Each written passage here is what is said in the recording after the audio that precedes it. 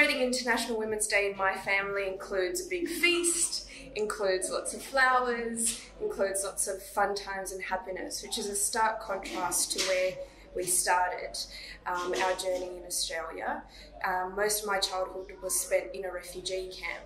uh, where my mum was the sole carer of myself and my two brothers uh, because my dad was caught in the siege of Sarajevo. So my mum really is a pillar of strength, and I think International Women's Day is a reflection of what I can contribute as a woman, but it really is to celebrate my mum and, and to be very thankful and appreciative of all that she does for our family, but also in her life as a woman.